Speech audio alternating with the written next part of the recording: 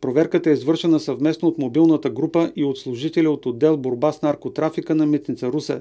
Още при разтоварването на багажа на пътниците, инспекторите забелязали съмнителни участъци. Веднага автобуса е сканиран с рентген, при което са набелязани зони, изискващи щателна митническа проверка. При нея служителите открили 911 стъклени бутилки с водка от различни марки и вместимости, всички с украински бандероли. Общото количество на изети алкохол е близо 630 литра. Установено е, че бутилките са собственост на водача на автобуса.